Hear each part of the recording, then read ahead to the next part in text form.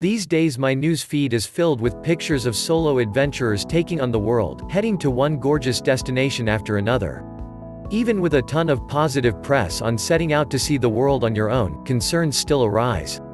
Safety concerns, loneliness, and boredom can make solo travel scary or even unappealing. For women, traveling solo can be even more challenging with gender inequality issues around the globe. So, why is it a good idea to travel somewhere alone? I've traveled for business, in groups, with family, friends and by myself. As someone who values experiences, I find each of these types of travel to be advantageous in different ways. That said, ever since my first solo adventure, I have always been an advocate of encouraging others to give it a whirl. It has hands down offered me the best experiences of my life.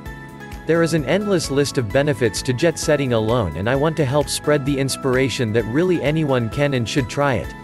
Below are just a few examples of the impact solo travel can have. Independence and empowerment. Travelers who go on solo adventures often talk about how empowered they feel when they return from a trip.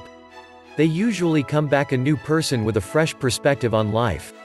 Solo travel represents freedom, independence, and of course wanderlust.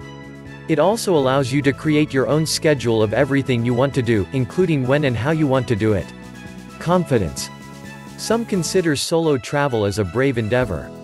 I don't think of going solo as brave because if you plan properly, you will be ready for whatever comes your way. The more research you do on a destination, safety, cultural norms, language, etc., the better prepared you will be to handle anything. Even if you're not fully prepared, stepping out of your comfort zone by traveling somewhere alone will help you gain confidence to take on the world. Given you're entering the unknown, it will offer opportunities to learn how to face various types of scenarios. Solo travel gives you a chance to listen to your gut and control what direction you want to head. It allows you to reflect on your decisions and discover more about what makes you, you. Spending even a minimal time in solitude will allow you to embark on an inward journey of self-discovery. Connections and new friendships. I think there is a misconception that solo travel means you're always alone. While some prefer to be alone, you can also make new friends on your journey. Travel can lead to exciting adventures and meaningful experiences with complete strangers that have a long-lasting impact. Nowadays, there are plenty of apps that offer opportunities to make connections with like-minded explorers. Beyond apps, solo travel will automatically throw you into social settings and opportunities to get to know others and other cultures. Freedom.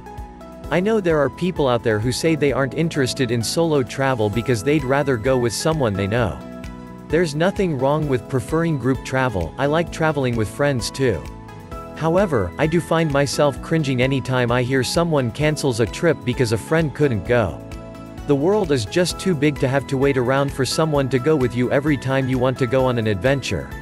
That coupled with knowing how amazing solo travel can be, it would just be a shame. Solo travel is the ultimate freedom as you can go when you want, where you want and at a budget you can afford. You and only you get to decide.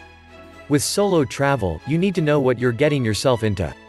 You have only yourself to rely on, which can seem scary but it is also invigorating. So, the next time you become inspired to go on a trip, and you can't find a friend to go with, do yourself a favor and book it. This time for you.